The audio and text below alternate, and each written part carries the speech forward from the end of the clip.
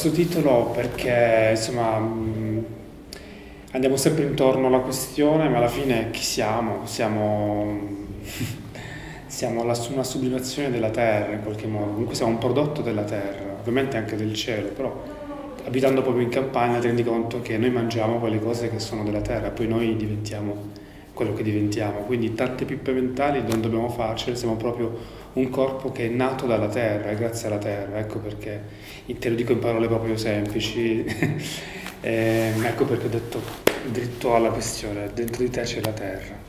Mi affascina molto, sono contento di aver trovato questo estratto da internet, che non sono neanche riuscito a capire chi l'ha fatto, se è vero o finto, fa niente, comunque mi ha molto ispirato e io penso che comunque nella nostra cultura anche diciamo più arcaica c'è questa, lo vedo anche nei riti della, della terra, questa, mm, questa, diciamo, questo contatto che si cerca con, con il corpo della terra, no? in, in, tanti modi.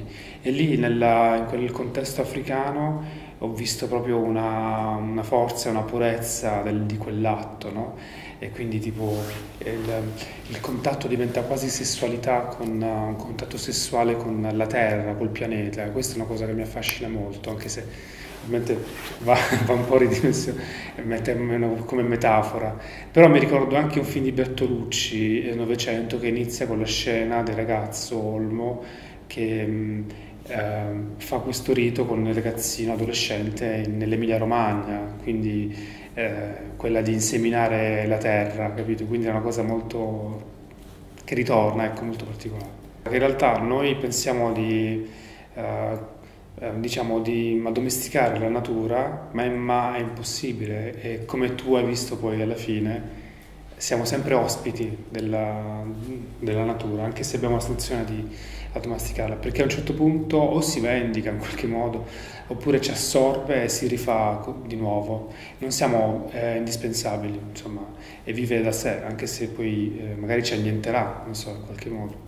Mi sono reso conto di, di, di questa cosa nel, viaggiare spesso, nel viaggiare e abitare le grandi città e quindi uscire dalle grandi città e andare nelle foreste e vedere che c'è comunque la traccia dell'uomo che ti indica la strada, ti fa ritornare comunque al punto di partenza per non farti perdere, però dove ti porta? Ti porta sempre nel, nel solito luogo sicuro e comunque diventa, che diventa poi una gabbia. E insomma, secondo me non è questa, la, diciamo, ce la siamo inventata noi per stare tutti comodi e, e, godere i nostri capricci, perché poi pensiamo anche che Dio è tutto nostro, che Dio ci ha creato, che Dio siamo noi. Invece no, cioè siamo proprio in gabbia, quindi, e quindi il, uscire da questo cavolo di labirinto, per me lì, diciamo, in quella cosa della terra, del giardino, ho capito che c'è una possibilità, però ormai siamo, comunque bisogna trovare il modo per uh, entrare in contatto in questa, cioè uscire, trovare l'uscita e poi ristabilire un contatto che comunque abbiamo perso con l'esterno del labirinto. L'Africa, vabbè, è comunque nel, nell'idea, nel, nell'immaginario, quella cosa là, no? dell'arcaico, del selvaggio, del, ed è una cosa che a me attira molto. Però in effetti l'Africa è destinata a diventare una, diciamo, una terra che lo è, lo è eh, stuprata dai grandi, diciamo, dalle grandi multinazionali e quindi il destino diciamo, che è segnato. Secondo me, e spero comunque di, che, che la, i giovani africani capiscano, infatti la cosa bella è che in contatto con loro significa anche fargli capire che cosa abbiamo combinato noi, cosa non devono fare. No? Quindi preservare la, quella, quel quella cosa primitiva, per me era, cioè quando vedo i documentari io estasiato, adesso invece loro si vergognano di questo, quando è un punto di forza, però noi siamo troppo, uh, noi abbiamo, facciamo una vita troppo comoda per capire questo e per diciamo, capire, non capire loro, la loro volontà, voglia di uscire dal loro contesto, cioè, perché ormai li abbiamo comunque corrotti, no?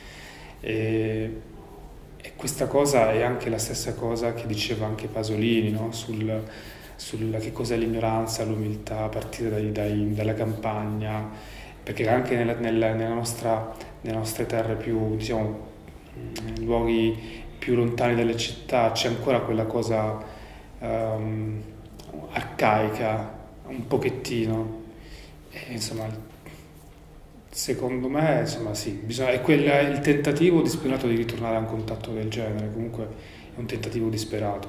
è, anche se è bello, sereno, sembra serena no? come, come processo, il film sembra una cosa molto...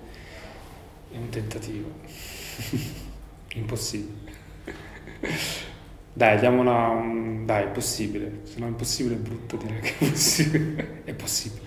È uno di quei libri che non sono mai riuscito a leggere alla fine. Ho detto, speriamo che con lui riesco ad arrivare alla fine, perché poi ci sono altri libri più interessanti, secondo me, di Amanez. Però è quella cosa che riguarda l'adolescenza. Lui era comunque arrivato che sta uscendo, sei un ragazzo che, che sta vivendo quasi la sua adolescenza in Italia, no?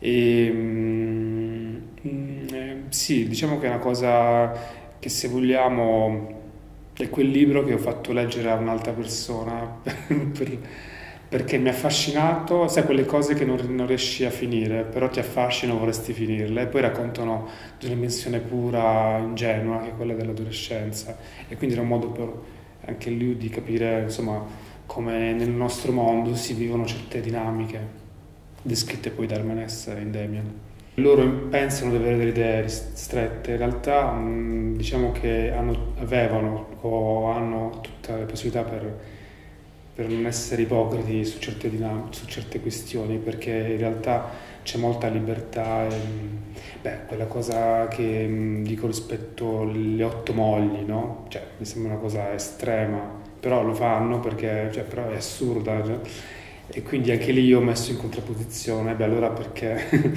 non ci sposiamo così siamo uh, tre, una, una, una, famiglia di tre uomini, no? Però no, per farti capire in realtà ehm, rispetto a certe cose hanno ehm, delle vedute anche più, più ampie, però diciamo che su altre rispetto a quella cultura magari indotta da una religione, o da certe tradizioni, loro pensano di non essere emancipati come... Cioè, cioè, diciamo, è anche brutto dire che siamo emancipati, no? Mi sono reso conto parlare, parlando e conoscendo lui. Ehm, sì, cioè, nel senso c'è un altro tipo di, di, di, di emancipazione su altre cose e noi su altre, magari è bello anche dialogare su questo. Ho quasi rubato delle volte senza preavviso registravo, no? perché ormai siamo, insomma, penso che siamo in un'epoca in cui ci permettiamo di registrare le cose così, no? E io con questa modalità ho anche fatto questo film e, e quindi effettivamente è emersa questa, questa questione. Chi sono io per rubare lui in quel momento? Però in effetti ciò che si è, innescata in chi poi entra nel, nel mio lavoro è una sorta di scambio, scambio che poi lì avviene veramente. No? Intanto siamo, siamo cresciuti insieme rispetto a certe questioni.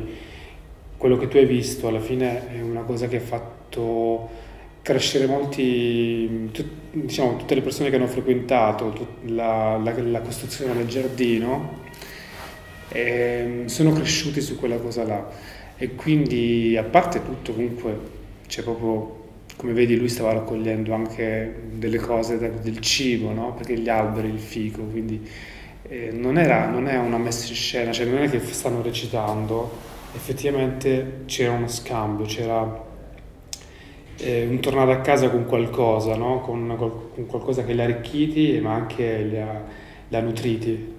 Perché dunque è proprio una ripresa che, che intanto è immediata, il mezzo come sappiamo il cellulare è quasi invisibile, sì, eh, io vedo dappertutto che ci sono persone che si fermano a filmare, magari ci passo anche io e siamo tutti filmati, non c'è questa, cioè l'intimità ormai si è spostata più indietro, cioè, nel senso che eh, utilizzando questo, diciamo, il telefono eh, eh, ho tolto un po' questa, il mezzo, in qualche modo l'ho, diciamo, il, eh, l'ho un po' reso invisibile in qualche modo, è sempre presente perché comunque ce l'abbiamo in tasca e, e sarebbe stato impossibile riprendere quelle cose che tu hai visto.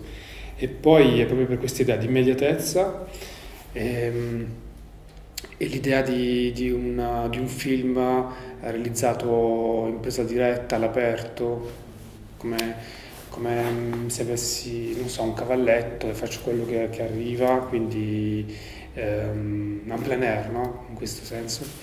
e quindi diverso da un cinema diciamo impostato di studio e di sceneggiatura ed è il mezzo ideale secondo me per questo tipo di, di, di lavoro di, di, opera che ho realizzato. Poi peraltro ci sono altri mezzi sicuramente. E poi proprio l'estetica è quella che ci riporta a, a dove siamo noi virtualmente nei social capito? è in dialogo con quello